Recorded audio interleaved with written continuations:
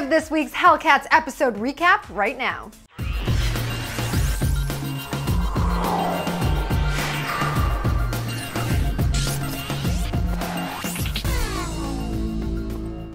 Hello, all you Clevver TV peeps. I'm Dana Ward at the studio with the episode 4 recap for Hellcats. Titled as Nobody Loves Me But My Mother, this one is all about relationships and love, and of course, there's a little bit of cheerleading in there too. Now, one interesting happening has to do with Savannah.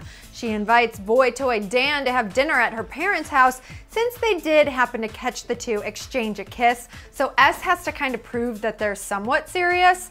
But the nighttime meal is less than appetizing as the Rents tell Savannah she must choose between the boy or Lancer University, aka the fam.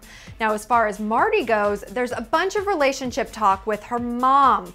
Wanda needs help to win a contest against the other peeps at the bar and desperately needs Marti's help. They bicker a bunch, but in the end, Marti comes through to sing for the bar patrons, resulting in a ton of applause from all. I guess there's also a bunch of Marti and Lewis relationship issues as well. She kind of denies a date with him, causing him to head over to Alice. Can we say hot and steamy between those two? Just in time for Marti to reveal that she's ready to date him. We can't forget that Hellcats does have something to do with cheerleading, so there's a bit of drama when the team totally freaks out about the competition from their rival team. What would they do without some casual competition though?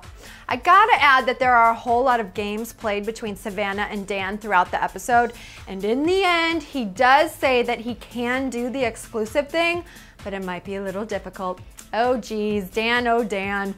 So, these are the main happenings for this episode of the Hellcats. Like I said, tons of relationship happenings, and we're kind of left hanging as to what's going to go down from here on out. Just the way we should be. Okay, guys, make sure you guys follow us on Twitter for more news and recaps on the CW's Hellcats. You can find us at Clevver TV. I'm Dana Ward. Thanks for tuning in.